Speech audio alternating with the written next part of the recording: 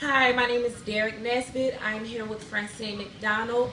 I'm conducting an interview with her today about sports and the impact sport has made on her life. So, Francine, how has sports changed you for the better? Like, what has sports done for you?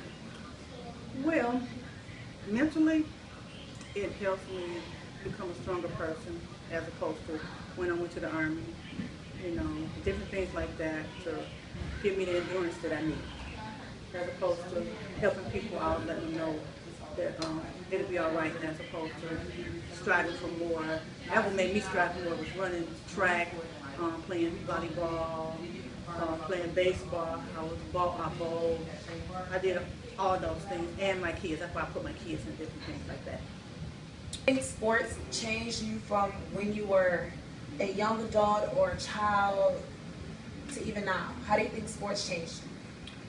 Well, like I said, it gave me the endurance to complete something because once you start something, I wanted to complete it. And then as I grew older, it kept me in shape. You know, now I'm going on 60 years old, so it kept me in shape to make me feel like I needed that. And I knew they would help me. I wouldn't do any kind of drugs or smoke. And because I wanted to continue to do that. So therefore, by not doing that, um, that made me, by me doing it, made me not do that. Okay. Do you think children now and in this century that we live in view sports in a completely different way from when you were growing up? Like, what what have you noticed change within sports over time?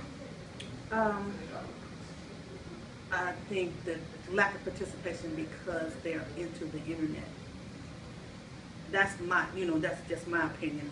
I just think that they need to be out there physically fit and keep on going and striving for more to, so they won't have obesity in the world. That's the, my biggest thing. Okay. Are you involved in sports today? Like, do you have children involved in sports? Do you own any organizations? Any, like, what do you do? Do you do anything involved involved in sports? Yes, I have a dance company my sons does football. I have older children, so they they've done stuff before.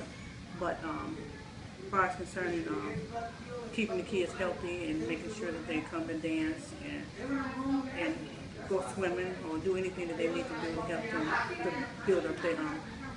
Some people need that in their life. Okay. Well, that concludes our interview today. Thank you very much.